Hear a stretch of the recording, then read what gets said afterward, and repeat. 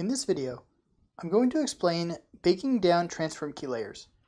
What this means is taking a layer that has transform key movement and merging it all down into one layer that replaces your transform keys with regular paint frames. This is useful for when you want to export your animation, reduce draw calls, or regain flexibility over each frame. Here I have a looping dinosaur animation who runs in place. As you can see, I've added some transform keys to make him do a 360 run in a circle. Once he finishes his run, he stops and remains in place. If I want to bake this animation, or make it loop, what I have to do is put it into a sequence. To make a sequence, I recommend first making a group. Go to a layer above your group with the transform keys and hit create new group. Then add your looping transform key layer into that new group. And then make the new group into a sequence.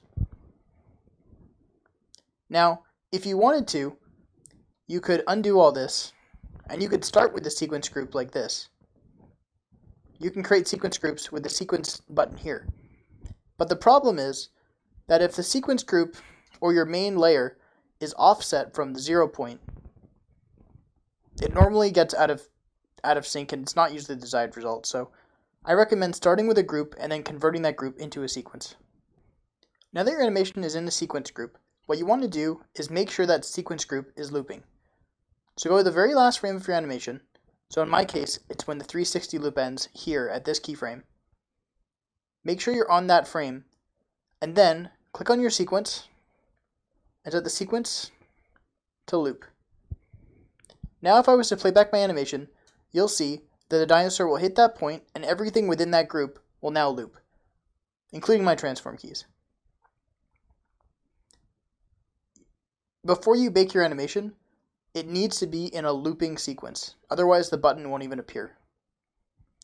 To bake it, tap on your looping sequence layer, and then hit the bake button here.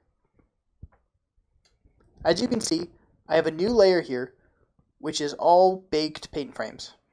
It's called new layer 0 underscore baked, based on my sequence name.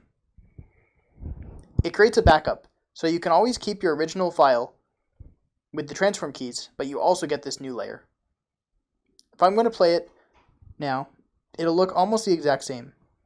It's a little bit choppier, that's because there's less interpolation than before. Now that it's baked, you can always choose to go and unloop it, so it only animates once.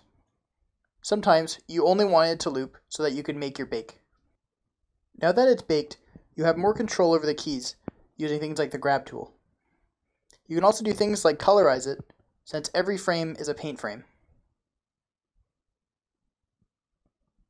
And of course, you can also export this to FBX because it no longer relies on transform keys.